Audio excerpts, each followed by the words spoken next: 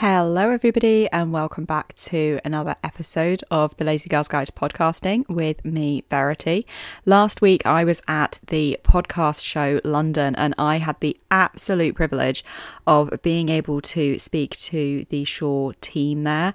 And thank you so much to Ash, who let me interview him because his colleagues completely threw him under the bus when I approached the stand and asked for somebody to talk to me about Shure microphone use. So that's exactly what we talked about, all about how to effectively use any kind of microphone for creating and recording your podcast. Uh, so do stick around until the end of the episode because Ash from Shure actually gives us three top tips for recording with the best quality possible on any microphone. And we also talk about why it's so important for podcasters to wear headphones during their recording uh, setting, studio session. That's the word I'm looking for.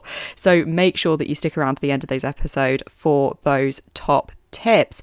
Let's dive in, and I really hope you enjoy the episode. I am here with Ash from Shure, who is going to be talking to us all about microphone. Thank you very much for your time, Ash. You're looking very, very skeptically because I know that your colleagues just completely threw you under the bus for talking to me here. So thank you for your time. No problems at all, Verity. Nice to meet you. So I wanted to talk to you about Shure microphones. I know you do other things other than microphones, but there's a lot of hype about Shure microphones. Why is that? Yeah, obviously you can see Shure microphones used by a huge variety of podcasters. The SM7B is, yep. is kind of an industry standard. and it's a well, a lot of people have or aspire to have. Um, Myself included. The reasons you know such a big name in, in podcast microphones. Interestingly, the 7B started as a studio microphone. So it, it was ever designed as a podcast. Shure has over 100 years of, coming up to actually years expertise in, in producing Uh, technology. So, Which I think is incredible to think of. I'm just going to say, because we think about podcasting, we think audio, we kind of think, I don't know, we don't think 100 years. Certainly not, no. And obviously, the early days, it, it really was anything like you'd imagine now. Yeah, the 7B was developed as a vocal mic. It was record, used to record things like my sister and her album. Wow. So it's it's got a long standing in, in, sort of music part.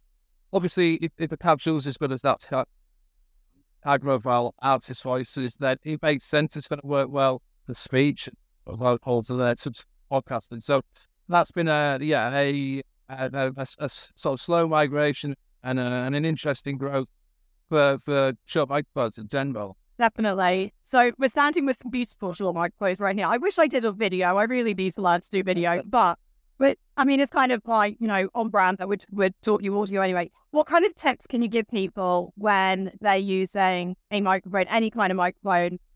If it's a Shure microphone, amazing. But any kind of microphone for their podcasting, what kind of tips can you give them? Yeah, certainly. I mean, with modern sort of computer technology um, and audio processing, there's a huge amount you can do after you've recorded to improve the quality. But really, the best way to get a good quality recording is to record it well in the first place. Yes the first thing we've she says with this tiny little seven pound ninety nine microphone. But the first thing we'd often recommend is the environment. So you know, it, it's we're, we're studying a, a big exhibition hall. It's like a lot of editing this. Yeah, yeah.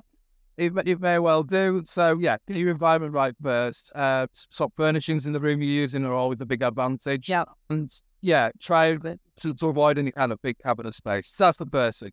The second thing is is really going to be how close you are to the microphone. So the closer you are to the microphone, the stronger the signal is from yeah. your voice. That's going to power any sort of re- reverberation in the room. Yeah. And you're going to get a much stronger positive signal, cleaner recording. And and the last bit really is going to be, you know, try and aspire to get the, the highest quality microphone you can. Because, you know, it's it's it's the most involved thing. It's converting the, the, the acoustic audio energy into electrical energy records yeah, really try to get the best quality juice that you can. I think if you follow those tips, we'll always be somewhere in the ballpark to get the best possible sound. Definitely. I'm going to ask you another question because there's a lovely pair of headphones here. Yeah, yeah. I see a lot of podcasters wearing headphones. I wear headphones myself when recording. Yep. Why do we do that? Why is that important? I think there's a couple of reasons. Again, monitoring your own voice. So when you've got headphones on, you kind of, when you're a bit close to the sound, and it tends to give you more consistency in the level that you're outputting, probably. And the second is often podcasts is multiple people. So again, it gives you a control, control enclosed monitoring environment. Yeah. And that means that you can be nice and balanced next to your guest or host. And yeah. it, it just helps you give you that, yeah, defined monitoring environment. Fantastic. Well, Thank you so much, Ash. Thank Pleasure. you for your colleague who drew you onto bus to talk to me. I really, really appreciate it. That was myself and Ash from Shure talking at the podcast show London all about how to get the most out of your microphone and also why it is important to wear headphones when you are recording your podcast. The next episode that I would love you to listen to is episode 65, where we talk about how expensive does your microphone actually need to be in order to have a successful podcast. If you are thinking of upgrading your microphone, buying your first microphone for your podcast, whatever it is, I would recommend checking out episode 65. I'll leave the link down in the show notes, or you can just scroll through until you find EP 65. How much do you need to be spending on your podcast microphone? As ever, I'm Verity. Hope you've enjoyed this episode, and I'll look forward to seeing you next time.